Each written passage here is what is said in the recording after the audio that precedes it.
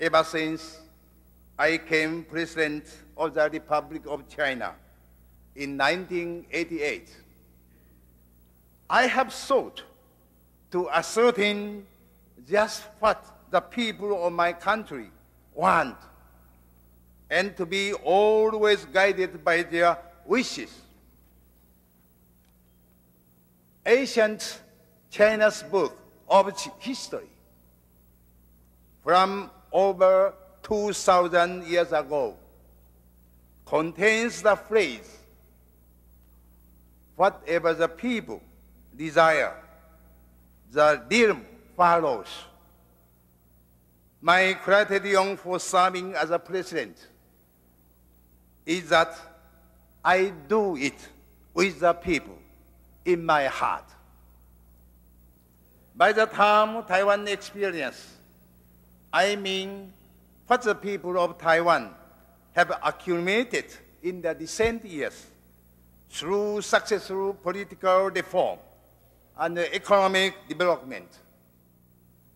Currently, aside from economic development, Taiwan has been undergoing a peaceful political transformation to full democracy. The process of reform in Taiwan is remarkably peaceful indeed.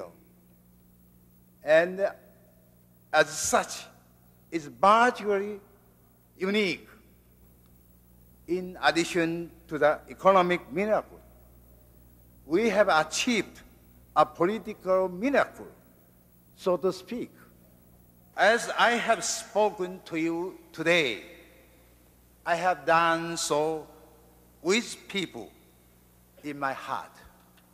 I know that what my people would like to say to you now can be expressed by this simple message.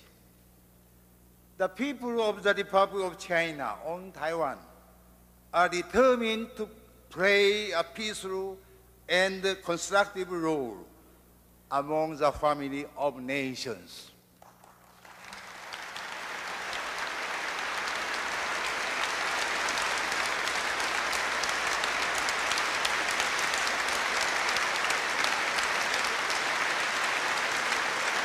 We say to friends in this country and around the world, we are here to stay.